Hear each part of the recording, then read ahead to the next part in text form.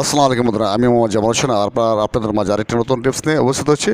অবশ্যই আমার আপনারা থামবে দেখে বুঝতে পারছেন, এই মুহূর্তে আমি আপনাদের মাঝে কোন টিপস নিয়ে উপস্থিত হচ্ছি আপনারা সকলে জানেন, আমি ঢাকা রাজধানীর সকল সরকারি, বেসরকারি এবং ডাক্তার এবং ডায়াগনোটিস্ট সেন্টারের বিভিন্ন তথ্য সংগ্রহ করে আমি আমার এই চ্যানেলে আপলোড দিয়ে আপনাদের সহযোগিতা করার চেষ্টা করি, ইনশাল্লাহ। তাই আজকে আমাকে অনেক ভাই বোনেরা আমাকে ফোন করেছেন মানে আমাকে আমার কাছ থেকে জানতে চেয়েছেন যে, ভাই, বঙ্গবন্ধু শেখ মুজিব মেডিকেল বিশ্ববিদ্যালয়ে যে বৈকালীন যে সেবা, এবং বৈকালীন সেবা দেয় ঠিক আছে, বুঝলাম, কিন্তু বৈকালে কি কোনো পরীক্ষা নিরীক্ষা করানো যায় কি না মানে পিজি হাসপাতালে বিকালে কোনো পরীক্ষা নিরীক্ষা, কোনো টেস্ট করানো যায় কি না এরকম একটা ভিডিও বানিয়ে আপনার চ্যানেলে আপলোড দেন। এরকম একটা অনুরোধ করেছে আমার এক বোন, এক ভাই আমাকে ফোন করেছেন। তা আসলে কি বৈকালীন সেবাটা তো আপনারা জানেন, ইতিপূর্বে আমি কয়েকটা ভিডিও দিয়েছি।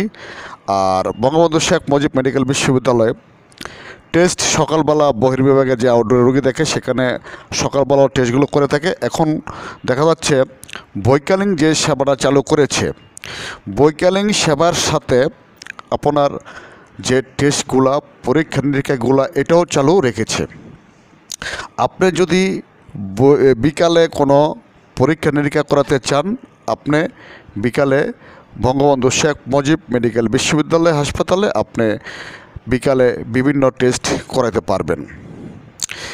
আপনি বৈকালীন সেবা নেন বা না নেন যদি মনে করেন আপনার বৈকালীন সেবা আপনি নিলেন না, কিন্তু আপনি বাইরে হাসপাতাল থেকে যেরকম ঢাকা মেডিকেল কলেজ হাসপাতাল থেকে অথবা সরাতি মেডিকেল কলেজ হাসপাতাল থেকে অথবা ঢাকার বাইরে যে কোনো হাসপাতাল আপনাকে একটা পরীক্ষা নিরীক্ষা করার জন্য দিয়েছে বাট আপনি পরীক্ষা নিরীক্ষা করতে পারতেছেন না, আপনি বিকালে এসে এই পরীক্ষাটা করাতে পারবেন। যেহেতু বিকালে এই টেস্টগুলো করানো হচ্ছে। বৈকালীন সেবা যেহেতু চালু আছে সেই কারণে কিন্তু বৈকালীন যে টেস্টগুলো পরীক্ষা নিরীক্ষা কিন্তু সেগুলো কিন্তু চালু আছে। তো আমাকে অনেকে কমেন্ট করে জানতে চেয়েছেন যে, ভাই, আমরা সকালে তো অনেকগুলো টেস্ট করতে মানে অনেকগুলো টেস্ট দিয়ে থাকে, আমরা টেস্টগুলো করতে পারি না। দেখা- যাচ্ছে ভিড়, প্রচণ্ড ভিড়ের কারণে করতে পারি না। তো ওই সুবাতে যদি এই টেস্টগুলা বিকালে করা যাবে কি না হ্যাঁ আপনি ওই টেস্টগুলো বিকালে করাতে পারবেন। হ্যাঁ বৈকালীন সেবা কিন্তু তিনটা থেকে পাঁচটা। এর ভিতরে কিন্তু মনে করেন যে টেস্টগুলো আপনাকে ওখান থেকে দেবে সেই টেস্টগুলো কিন্তু আপনি বিকালে ওইখান থেকে করে নিতে পারবেন। আর মানে বঙ্গবন্ধু শেখ মুজিব মেডিকেল হাসপাতালের বাইরে যে টেস্টগুলো দিয়ে থাকে, সে টেস্টগুলো যদি আপনি আপনি বাইরের থেকে করাতে পারবেন এবং এই বঙ্গবন্ধু শেখ মুজিব মেডিকেল বিশ্ববিদ্যালয় হাসপাতাল থেকে আপনি বিকালে টেস্টগুলো করাতে পারবেন। এখন কথা হচ্ছে যে আপনি যদি টেস্ট করাতে চান, তাহলে অবশ্যই বিকাল তিনটা থেকে পাঁচটার ভিতরে আপনার বঙ্গবন্ধু শেখ মুজিব মেডিকেল বিশ্ববিদ্যালয় হাসপাতালে আপনার যেতে হবে। ওই টাইমের ভিতরে কিন্তু আপনার টেস্টগুলো করাতে হবে।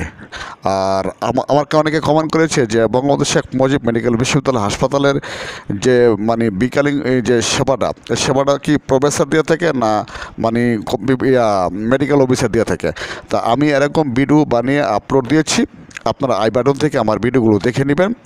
আমি আবার বলছি, আপনারা জানতে চেয়েছেন যে বৈজ্ঞানিক সেবা কি প্রফেসর সেবা দেন নাকি মেডিকেল অফিসার দেন? তো এরকম ভিডিও আমি অসংখ্য বানিয়ে আমার এই চ্যানেলে আপলোড দিয়েছি। আমার এই চ্যানেল থেকে আপনার আই বাটনে গিয়ে এরকম অনেক ভিডিও আছে, আপনারা সেখান থেকে দেখে নিতে পারেন।